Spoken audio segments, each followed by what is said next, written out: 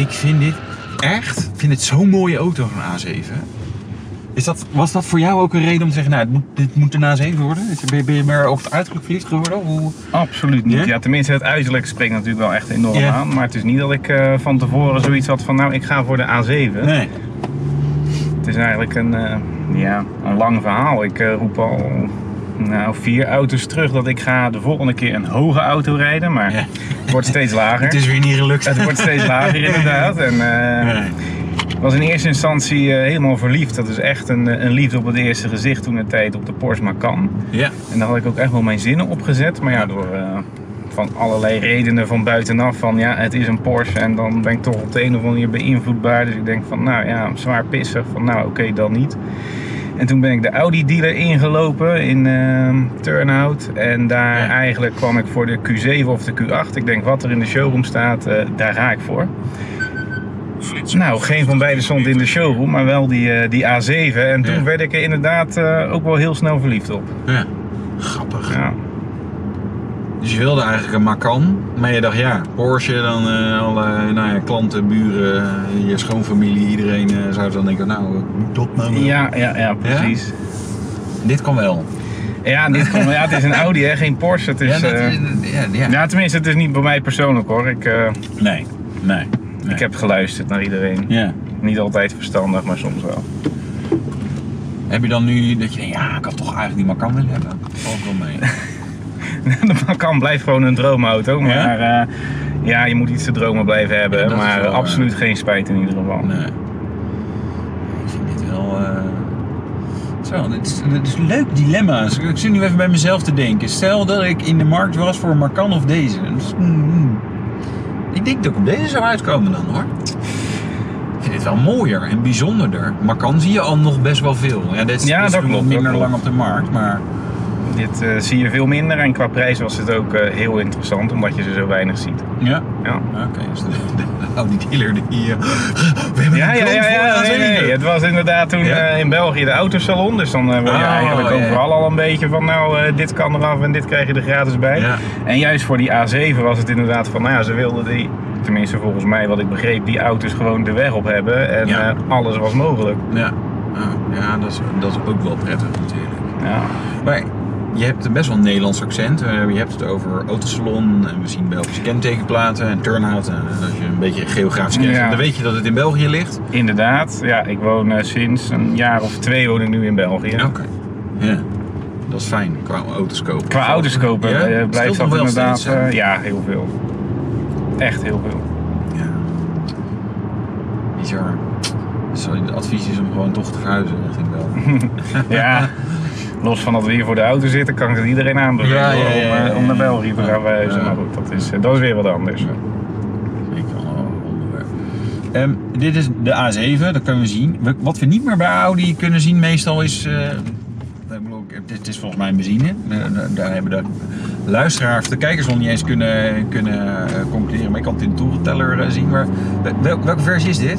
Dit is, eh, toen een tijd was dat een net nieuwe motor, de 45 TFSI. eh Zelfde motor die overigens in de Porsche Macan ligt, de 2 Ja. liter. eh. Ja. Het grappig, want in die Macan vond ik dat heel erg tegenvallen. En ik vind hem hier eigenlijk gevoelsmatig ietsje beter. Qua Ja, bakafstelling en zo. Het zou kunnen dat daar iets aan gedaan is. Ja, waarschijnlijk wel hoor. Ik heb ook niet eh, met eh, de gefacelifte Macan eh, 4 cilinder gereden. Maar dat is 2 liter turbo, 245 pk volgens mij? Of is dat... Precies. Ja. Ja, die, die naamgeving bij Audi is wel een beetje moeilijk geworden met de 45 TFSI en... eh, Ja, ik snap hem zelf ook niet. Nee. Oh. En, en ben jij echt een Audi-man? Of, of ben jij... eh, ja, je wil een Porsche man zijn, maar Nou, ja, ja, ja. van ja. Eh, ik ben helemaal geen Audi-man eigenlijk. Ik heb altijd BMW gehad. Eh, Daar heb ik best wel behoorlijk wat van gehad. Ja. Ooit wel eens een uitstapje naar Mercedes gemaakt, maar daar is het bij gebleven. ja. Maar waarom liep je dan niet de BMW-dealer binnen? Nou, ik vind de laatste tijd, en misschien hoor je het vaker, ik vind het design van BMW een beetje, ja, wat ze bij Audi altijd zeggen, het is een beetje hetzelfde gebleven. Als ik bijvoorbeeld een Mercedes E zie of een Audi A6 en dan zie ik Ja. het interieur van een 5-serie, dan Ja. vind ik het erg achtergebleven. Dus Ja. vandaar dat ik zoiets had van, ja, ik reed toen de 5-serie van het laatste model voor Ja. deze. En ja, bij BMW gaan kijken en ik vond eigenlijk helemaal niks waarvan ik had van nou, er- er dit kan het voor mij zijn. eh. Geen Casper in en ik Nee, ja, is, eh, ik, ik, ik- dat, dat snap ik wel. Dat is ook mijn kritiek op BMW op dit moment. Dat ik denk, ja, die, de, als je daar dan eenmaal rijdt en, en ermee werkt, is het helemaal prima. Maar dit, dit is zoveel spectaculairder. Ja, en BMW heeft niet ehm, ja, eigenlijk een tegenhanger voor deze, vind Nee. ik. Maar ja, 6-serie GT, 8-serie Grand Coupé, is dat een... Ja. Ja, die was er sowieso toen nog niet. Maar Nee. volgens mij is die ook qua prijs alweer echt een stuk hoger dan, eh, dan dat deze is hoor. ja, dat denk ik inderdaad eigenlijk Ja. wel. Die is eh, een stuk sowieso wel 6 cilinders, eh, nu in de eerste instantie Ja. nog maar. Dat klopt wel. Grappig. Maar je ging ei- eigenlijk voor een Q7 of Q8. En, Ja.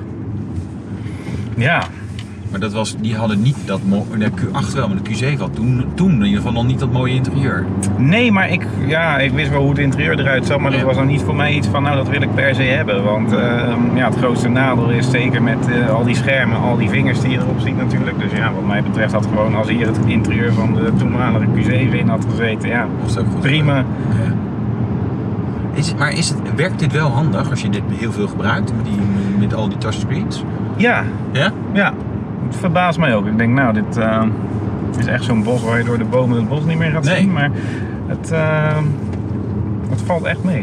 Ik ben er eigenlijk wel heel tevreden over. Ja, maar dat is, weet je, ja, bij ons is het natuurlijk altijd of een paar dagen en misschien eens een keer een weekje dat je zo'n auto rijdt. En dan denk je, op een gegeven moment heb je een beetje handigheid erin. Eh, maar zijn er vaak ook nog wel dingen waar je denkt, ja, pff, hoe werkt het eigenlijk? Eh, dus dan is het altijd wel grappig om te horen van iemand die er langer in rijdt. Van, ah ja, hoe, eh, hoe gaat het in de praktijk? Het is, wel, het is wel een hele comfortabele, rustige auto eigenlijk, hè? Dat was ook de bedoeling inderdaad, ja. Maak je veel kilometers? Je kan geen kilometerstand zien. Ja, er staat nu eh, in een half jaar tijd staat er 28.000 kilometer op. Dus dat is... En waarom heb je geen diesel genomen dan? Ja, ook weer gek laten maken door al die signalen in de markt. Hè. De een zegt nee, geen diesel meer, want de RS-waarde gaat omlaag. Nou, Ja. nu is er altijd wel, als je meer gaat ruilen, dan is er altijd wel een reden waarom die niks meer waard is. Ja, maar dit is de viercilinder. Dus Ja, weet je, dat is daarom. verschrikkelijk, dat wil niemand. Dus, eh, Ja, mensen zien ook benzine ook nog jammer. Ja, Ja, nee, ja, ja, er zit geen zwart interieur in, Ja. dus eh, nee, nee, nee, raken we niet kwijt. Nee, maar ehm, ja, Dus dat was eigenlijk van je dacht van ja, nou ja, oké, diesel kan niet meer. Dus diesel kan niet meer inderdaad. Maar je En- denk, denk je helemaal suf of valt er nog wel mee? Nou, dat valt wel mee, want als je hem echt heel rustig eh, ermee rijdt, dan verbruikt hij niet zo gek veel hoor. Dan kan ik eigenlijk gewoon eh, toch wel 8,500 kilometer op één tank Oké, ja. ja, dat is wel... En er zit niet een hele grote tank in. Eh, ik tank altijd ja, voor 70 euro. Volgens mij gaat er 50 liter in. eh, 50 liter? of 55. Ja, niet zo heel veel in ieder geval.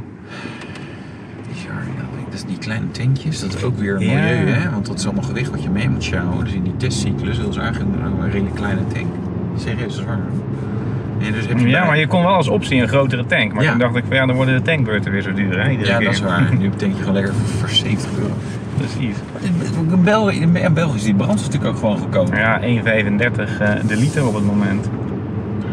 Benzine. Ik vind die steeds minder aardig worden. En dat snap ik. Auto is goedkoper, benzine is goedkoper. Nee, maar ja, dat weten we natuurlijk. Nederland is wel heel eh, gek. Is, dit een, is dit een zakelijke auto of rijdt deze privé? Dat is privé. Privé, oké.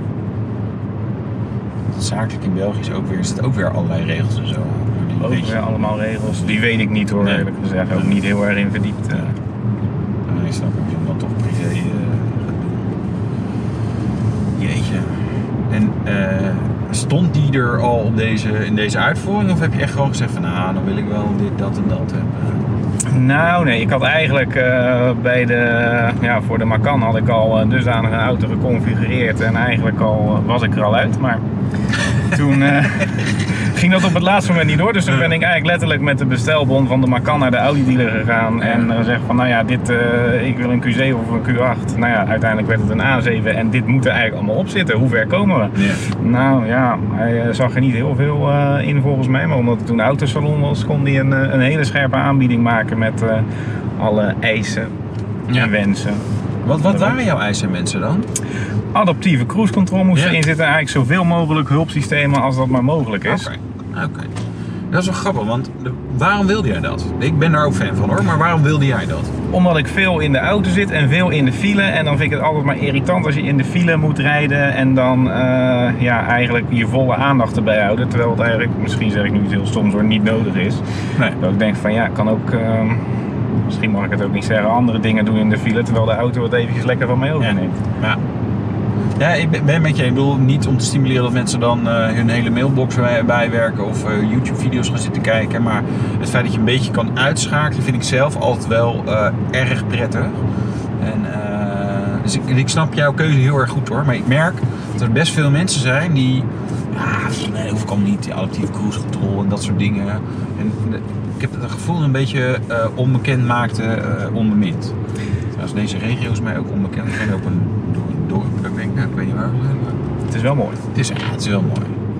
Nee, maar met die cruise control is het ook zo. Je moet er eigenlijk je moet er een beetje aan wennen. Ja. Dat is het. Ja. Ja. Ja. Want het rijdt toch anders dan wanneer je het zelf zou doen. ja, zeker. Zeker. Ja. ja. Af en toe denk je, hij gaat toch wel remmen, hè? Ja, toch Ja, soms doet hij het heel goed, maar ook af en toe wel een moment dat ik denk van, hé, hey, wie eh, zou nu de aandacht moeten hebben? Jij of ik? eh? Ja, ik had het zelf toch anders gedaan. ja, grappig, ja. En rij jij dan veel door België of ook door Nederland? Nee, ik, eh, ik werk in Nederland, dus Ja, ik rij alleen maar, ik woon eigenlijk net over de grens. En ehm, ja, dan rijd ik dus eh, naar Vlaardingen in de buurt van eh, Rotterdam iedere dag. Vanuit Turnhout? Mijn Nee. Hoogstraat Ah. Oké, maar dat is, dat is sowieso Dat is dat is, beter. dat is best een end. Toch? Het is Van- 80 kilometer.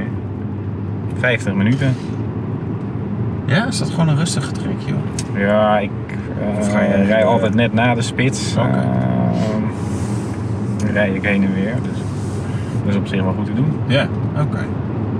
Ja, dat is best, eh, dat is best, best een commute, zeg maar. Even woonwerken. eh. Ja, eh, maar het is ook wel heel erg leuk om zo natuurlijk naar je werk te rijden. En ik heb altijd zoiets, als je dan een stukje in de auto gezeten hebt, dan kom je ook gewoon lekker ehm, wakker en uitgeslapen op je werk aan. Dat is waar. Ik heb ook een tijdje op 10 minuten afstand van het werk gewoond. En dan ja. in de winter dan stap je in de auto en de auto is nog niet eens warm voordat je er bent. En Nee. dan eh, Nee. begon voor mij de dag al verkeerd.